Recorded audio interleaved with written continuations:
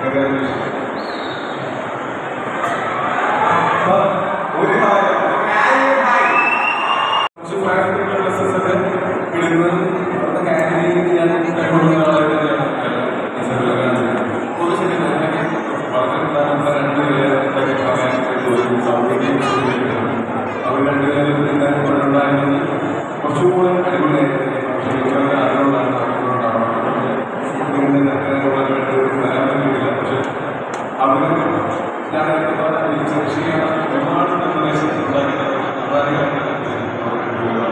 പിന്നെ നമ്മുടെ സുഹൃത്തുക്കളായിട്ട് ഒരുപാട് ശബ്ദകർമ്മ